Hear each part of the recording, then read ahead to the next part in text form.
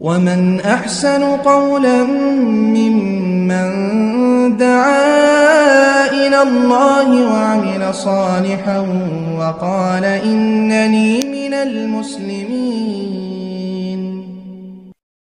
আলাইকুম রহমতুল্লাহ আবরকাত একজন দিনী ভাই জানতে চেয়েছিলেন যে তিনি তার স্ত্রীর স্বভাবসিদ্ধ হায়াজের যে সময়, সেই সময় পার হয়ে যাওয়ার পর, তার স্ত্রী পবিত্র হওয়ার পর তার সাথে মিলিত হন।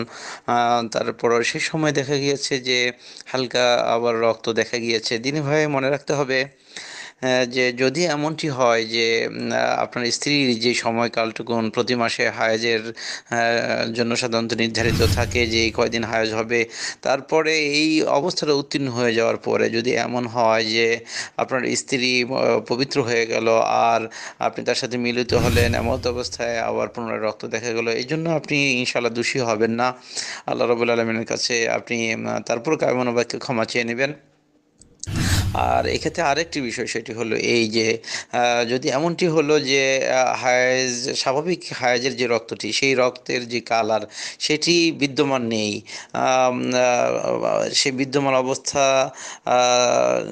নির্ধারিত যে কয়দিন থাকার সেই কয়দিন পার হয়ে গেল এবং হায়েজের রক্তের সেই রংটাও সেরকম নেই, হায়েজের যেই প্রকৃত রং সেটাও নেই।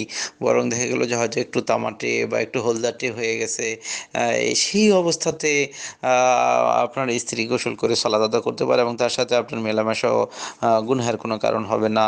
যেমনটি আমরা দেখতে পাই হাদিস আবু দাউদে রয়েছে এবং নাসাইদে রয়েছে। আবু দাউদে তিনশো সাত নম্বর হাদিস উম্মা আতিয়া আনহা বলেন কালাত, তিনি বলেন, কুল্লা নাউদ্দুল কুদরতা ও সুফরা। যে আমরা এই যে তামাটে বা হলদাটে যে রং, এটাকে আমরা আমরা কিছুই মনে করতাম না। অর্থাৎ কি পবিত্র হয়ে গেল?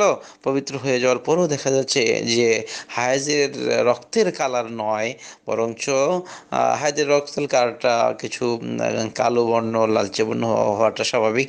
আর এর অবস্থা পার হয়ে সেই রক্তের রংটা পবিত্র হয়ে যাওয়ার পরে দেখা যাচ্ছে যে হালকা হালকা একটু হলদাটে ধরনের বা একটু এই- যে এই এই- ধরনের কালার যখন হয়ে গেল সেই অবস্থায় আপনি তার সাথে মিলে গেছে, মিল- মিলন করেছেন সেটাকে কিছু মনে করার সুযোগ নেই, সেটা স্বাভাবিক অবস্থায় ইনশাআল্লাহ হবে এতে কোনো আসবে, যাবে না। আল্লাহ আমাদের বুঝার তৌফিক দিন। আমিন। আসসালামু আলাইকুম রহমতুল্লাহি ওবরাকাত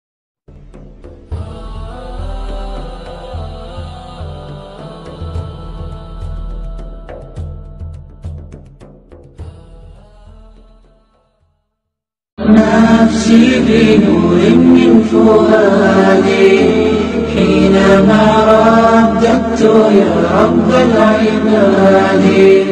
وانتشت روحي وصار الدمع يجري.